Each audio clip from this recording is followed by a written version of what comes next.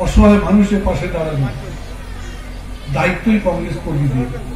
এবং সেই দাঁড়াতে কিছু বুকের রক্ত মেটে দেয়। সেই রক্ত দেওয়াটাকে শ্রেয় মনে করে। তারা নিজেদের রক্ত রক্ত ঢেকে নিয়েছে আজকে আসুন, তাদের মহান আত্মত্যাগের কত স্মরণে রাজীব গান্ধীর শুভ জন্মদিনে একদিকে যেরকম রাজীব গান্ধী দ্বারা আমরা অনুপ্রাণিত হব, অন্যদিকে উৎপল আত্মত্যাগ গতকাল সিএম একটি বস্তিতে গেছিলেন যেখানে চারশোটি পরিবারের মাত্র দুটি বাথরুম। হ্যাঁ?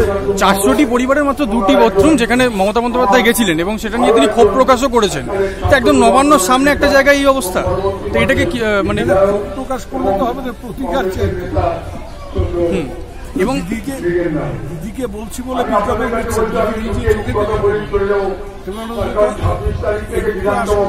তার মানে দিদিকে বলো যে নাম্বার চালু করা হয়েছে।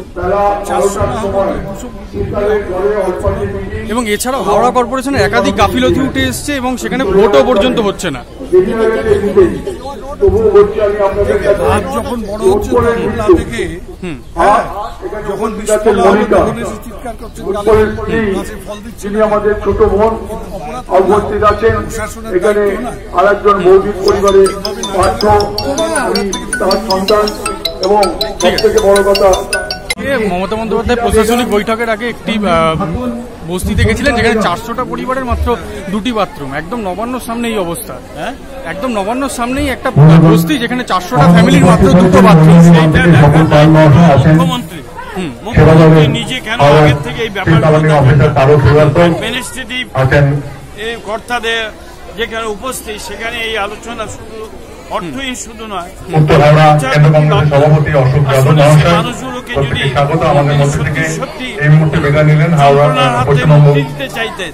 তাহলে অনেক আগের থেকে এই বিষয়টা মাননীয় থাকতো। সভাপতি। আর অনেক একাধিক ইস্যু উঠে এসছে হাওড়া পুরসভার যেগুলো গাফিলতি ছিল। হাওড়ার বহু জায়গায় অসম্ভব নোংরা নালার জলে হাওড়া প্লাবিত হয়ে।